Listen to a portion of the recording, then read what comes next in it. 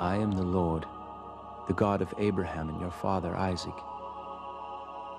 I will give this land to you and your descendants.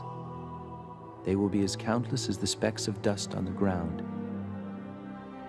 And you will spread far and wide, to west and east, to north and south. All the families of the earth will long to be blessed, as you and your descendants are blessed. I shall be with you to protect you wherever you go, and I shall bring you back to this land. I shall not leave you until I have done what I promised you.